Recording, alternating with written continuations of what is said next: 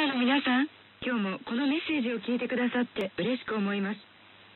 皆さんには感情的にとことん落ち込んだという経験がありますか？皆さんは孤独を感じ、生きるって何だろうと問いかけたことがありますか？皆さんは落胆し、感情的に落ち込み、自分の状況から抜け出せないと感じたことがありますか？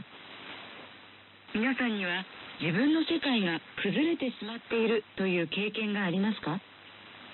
皆さんは周りの壁が自分に迫ってくると感じたことがありますか？大丈夫、あなたは一人ではありません。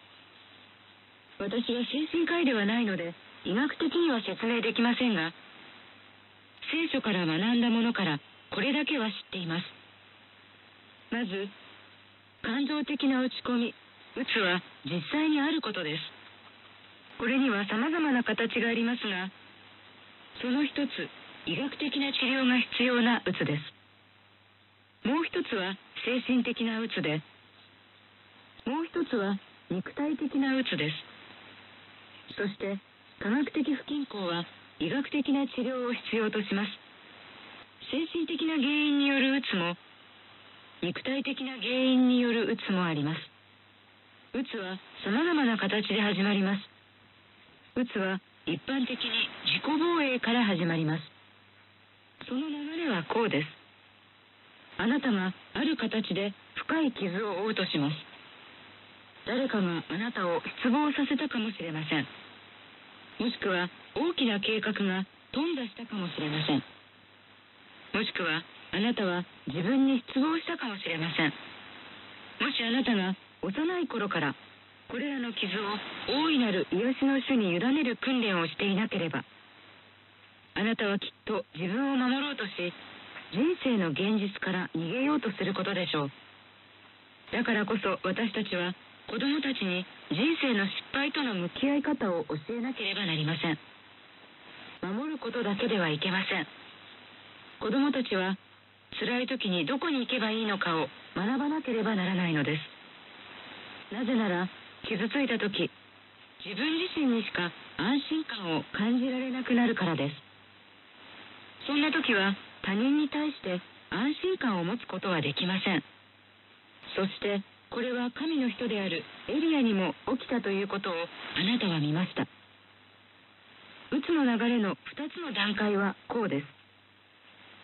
孤立と交代の後に来るのは自己憐憫です。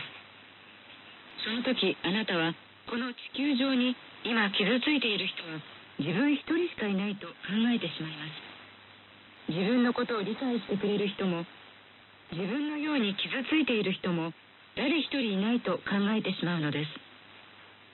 そしてそのまま3つの段階に突入します。それは自分を罰してしまうことになってしまいます。もう一度まとめてみましょう。1つ目は自分を守るために逃げ込むことです。2つ目は孤立したことによって自己憐憫に陥ることです。最後に自分を罰し始めるのです。自分自身が審判と陪審になり自分を罰するために自分の手で加えた痛みに苦しむのです。なぜでしょうか。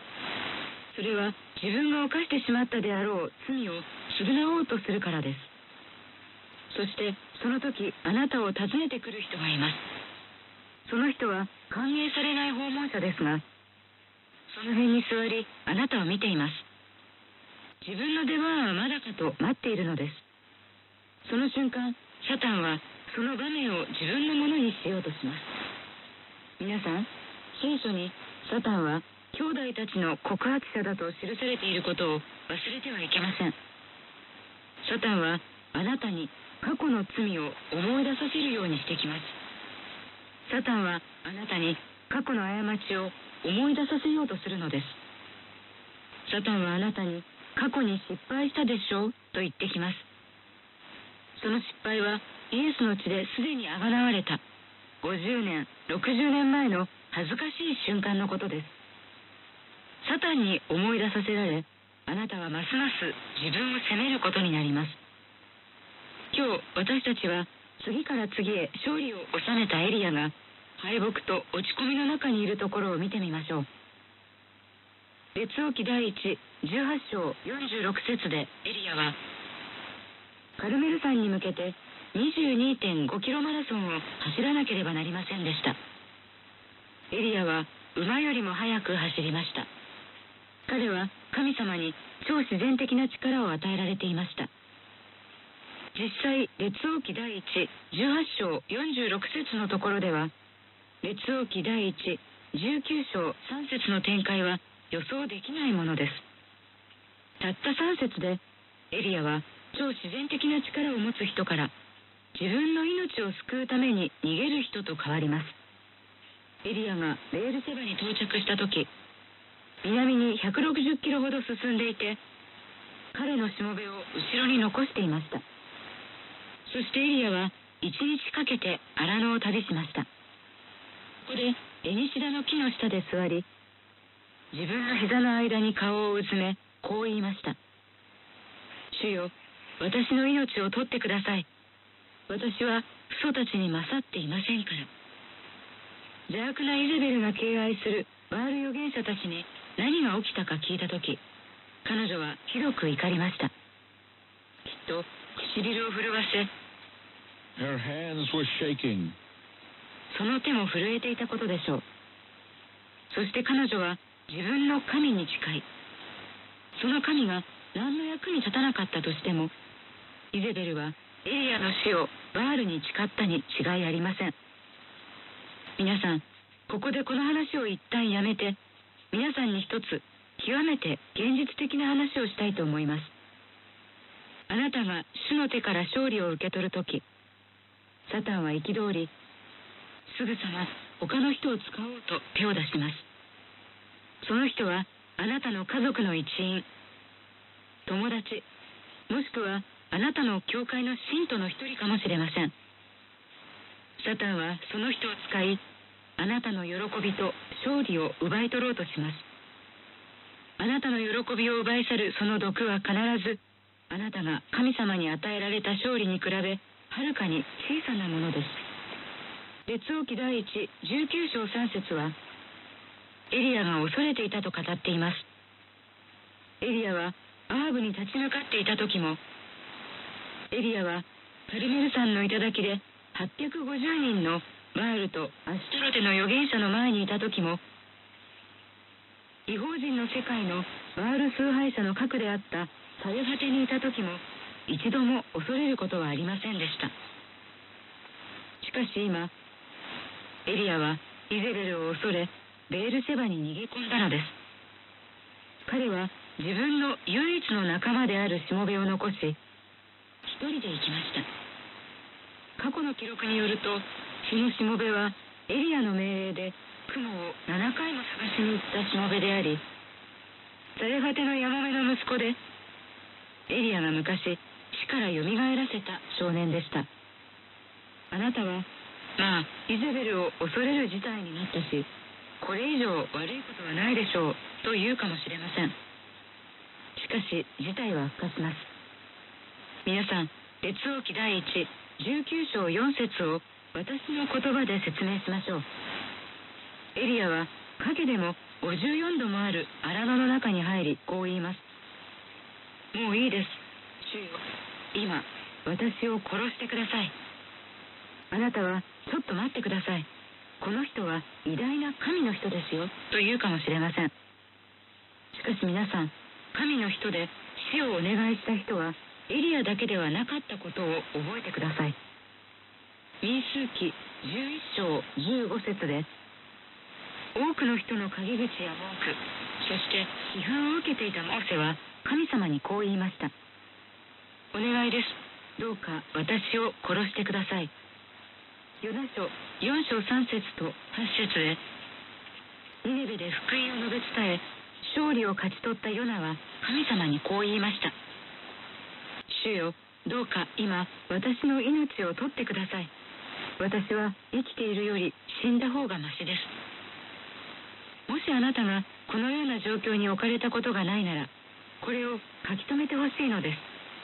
なぜなら遅かれ早かれあなたにも起こりうる状況だからです。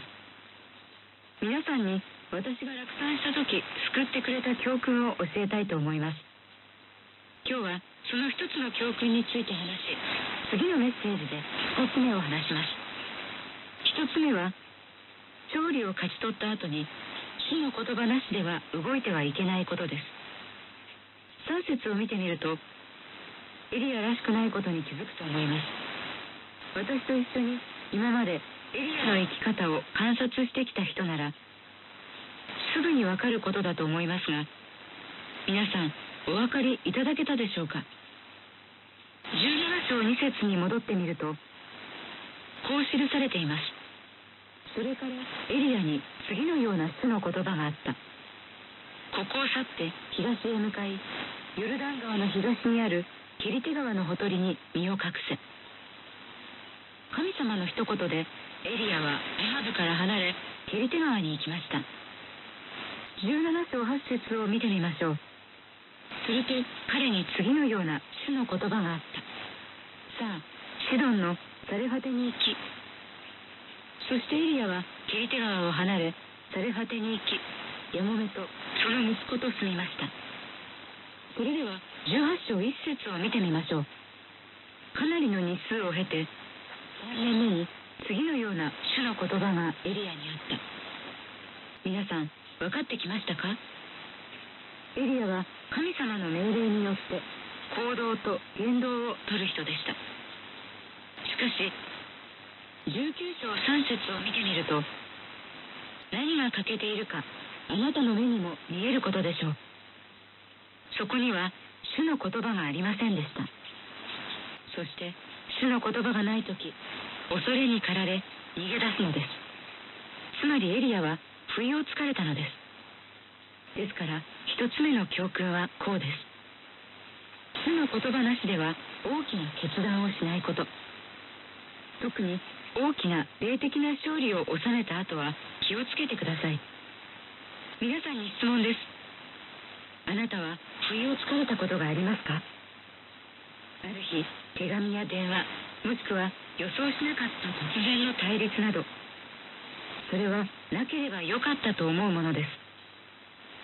あなたがやるべきことは主の言葉を待つことです。すぐに反応しないでください。時には反応する必要のないことです。